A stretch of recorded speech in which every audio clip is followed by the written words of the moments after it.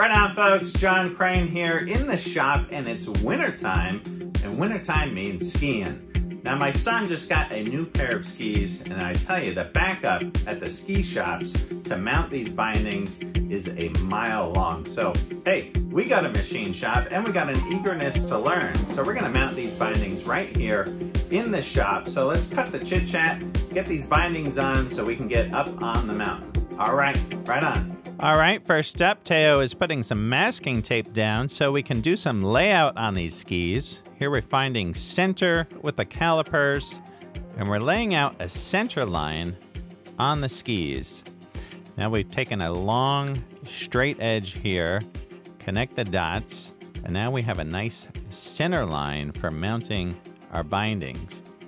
Most skis have a marking where the center is on the ski. This one has an arrow, and I'm using that to make a line with a square across the ski. Now this center line will line up with the center line on the bottom of the boot. So we're gonna take the toe binding and we're also going to put some tape on the bottom of this toe binding. Now here I'm using some calipers to find the center on the bottom of this binding. I'm just using the tips of the caliper to make a mark and then I will use a marker to fill in that little mark so it's easier to see. I'm just using a straight edge here and a Sharpie to connect the dots. Now this line is running across the bottom of that binding and this way we can put this down on the ski and easily locate center. So here we're putting this on the ski here we have the center line of the boot.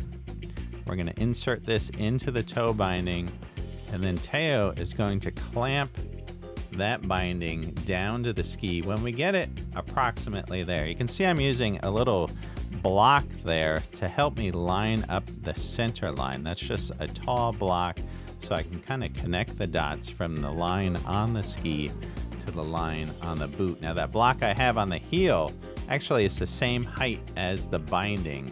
So I just wanted to get that on an even plane. You can see we've got this nicely lined up on center. Now I'm going to use this drill bit. It's an 11 64th drill bit to mark the center of the holes. Now you could use a transfer punch, but this actually worked out better as the holes are countersunk all right, the toe of the binding also has additional support in this little black piece that slides in and out on the front. So here I'm using some calipers to find center to center on these holes. I'm going from edge to edge on the holes. And this turned out to be one inch, 220 thousandths.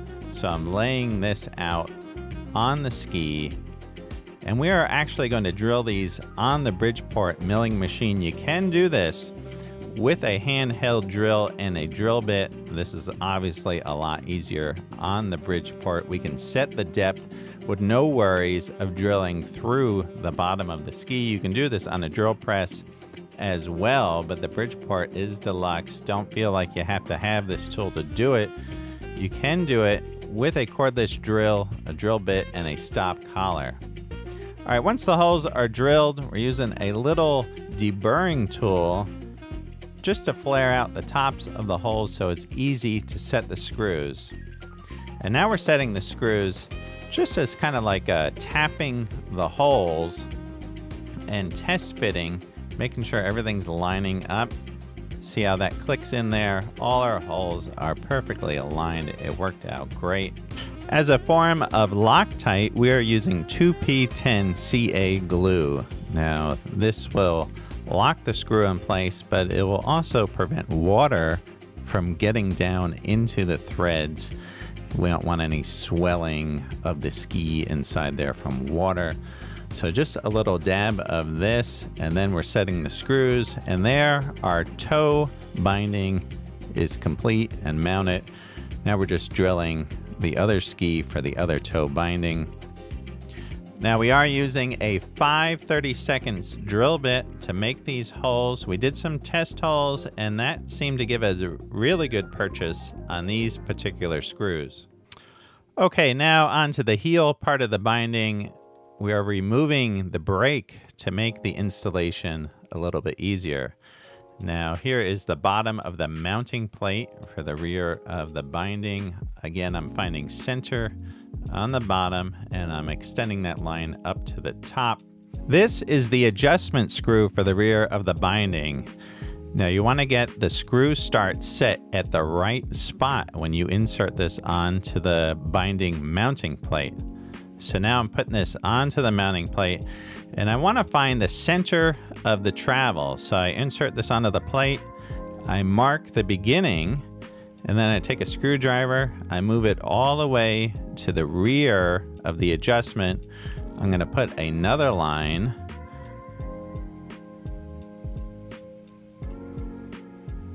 Right there, I put the end line, and now I'm finding the center of the travel, and then I will move the binding so it's right in the center.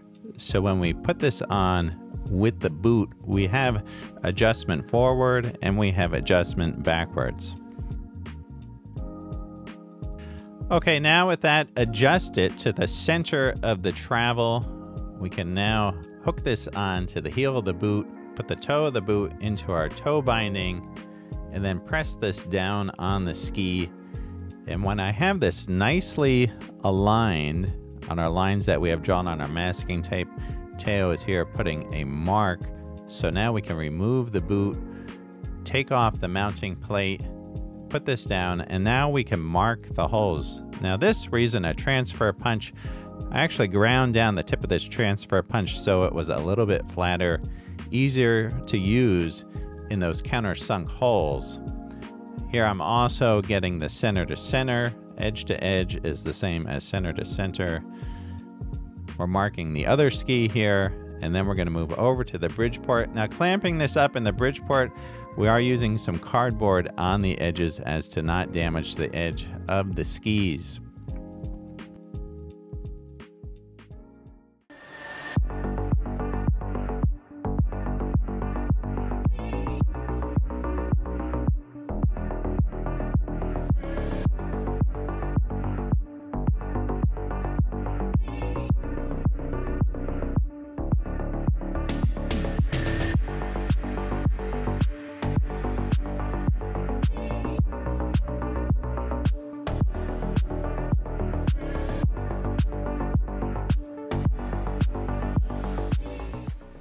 Okay, for this mounting plate, we go through the same process using the CA glue in the holes. We screw it down by hand with a posi screwdriver. This is not a Phillips head, it's a Pozidriv. Now get that screw start in the right spot before putting it on the mounting plate. And then we will adjust that screw to the center of the travel and here Teo is attaching the brake. And once this is in place, we can grab the boot here and boom, look at that. Right on, fits like a glove. This was actually a great fit, needed a little adjustment. Okay, now the toe pressure adjustment, they give you this little piece of paper that you slip under the toe, snap the boot into place, and then Teo's grabbing the screwdriver and adjusting the screw at the front. This adjusts the toe pressure from underneath. When this piece of paper is just snug and pulls out with a little bit of pressure, that is the right setting. Did the same to the other ski. And voila, we are set, ready to go up on the mountain. Right on. All right, right on, folks. I hope you enjoyed this video. We had fun making it. It's always a great day to be in the shop with Teo. Look at those skis, those are awesome. All right, please like and subscribe. Send this out to your buddies, spread the word. Hope you guys are doing great, and we'll see you soon. Right on.